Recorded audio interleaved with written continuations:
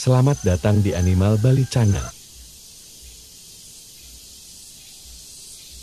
Di video kali ini, Animal Bali Channel akan menampilkan kehidupan ayam kampung.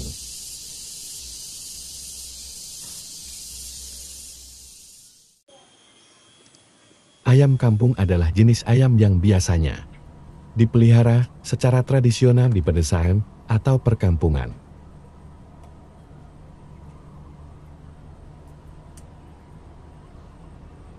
Mereka cenderung memiliki bulu berwarna-warni dan bentuk tubuh yang kecil hingga sedang.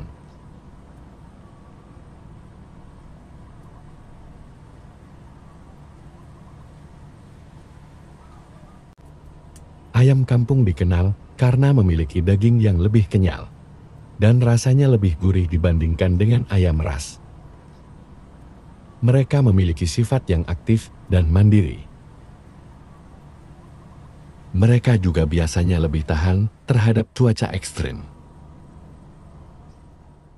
dan memiliki tingkat kecerdasan yang cukup tinggi dalam hal bertahan hidup di lingkungan alami.